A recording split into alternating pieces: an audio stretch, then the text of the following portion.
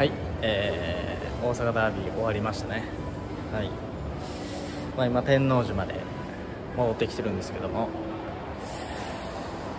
そうですね。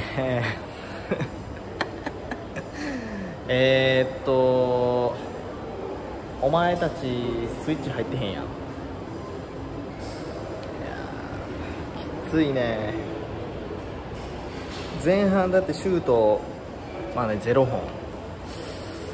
だったのでもうあの今日はあかんかな思ってました。もう正直ね。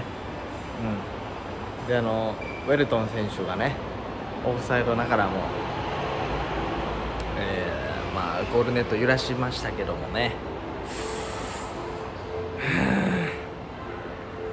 ちょっときついですね。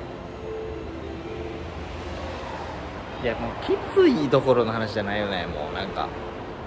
直近かけ勝ててないところから大阪ダービーを負けるとちょっともう今シーズンもやばいんじゃないかみたいなね。思いますよね。うん。思います思います。本当にね悔しい。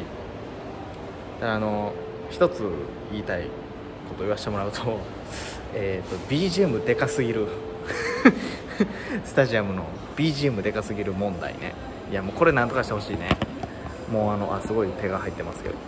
もうあのねあのちゃんとを書き消すような BGM ね。非常に辛いですね、まああのお仕事終わり学校終わりで皆さん現地行かれた方行かれてたと思いますけどもね、まあ、明日からも